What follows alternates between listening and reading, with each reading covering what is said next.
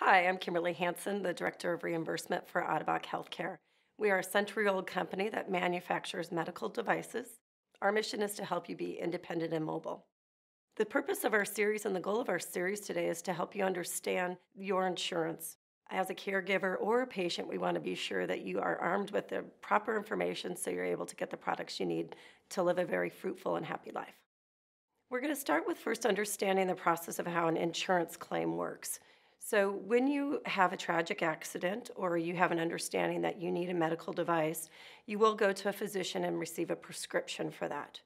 Once you receive a prescription, your physician or practitioner will tell you what specialized practitioner office you will need to go to. You will go to that office and you'll supply them with your insurance card, you'll supply them with the prescription, and they'll make a determination right there if they can process your claim or not. And processing the claim means are they an in network provider? Are they an out of network provider? This is a long term process, so you'll want to be sure that you're going to an in network provider or that you have benefits for out of network. They will submit a pre authorization. Pre authorization does not guarantee payment. What it is, is they're submitting to the insurance company that with the prescription and with the type of plan you have, the products will be covered.